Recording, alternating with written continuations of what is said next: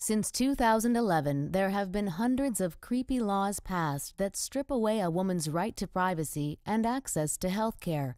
This is one of them.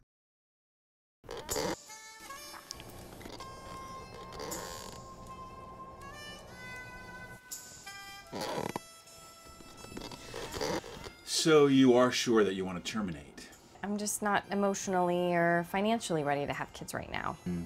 Okay. Well, just so you know, uh, the law says that before I can do that, I need to do some things to you that you need to pay extra for. You know, just some things that will help you better understand what it is you really want.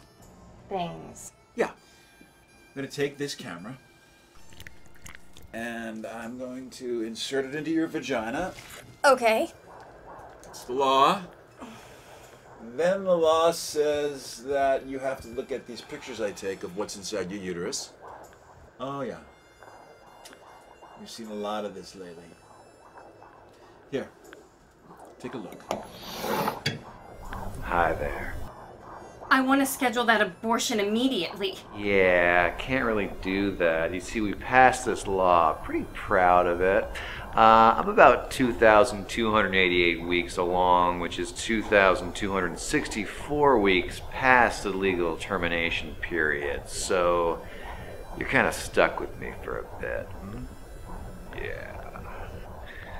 Mommy. How did this happen? You got fucked.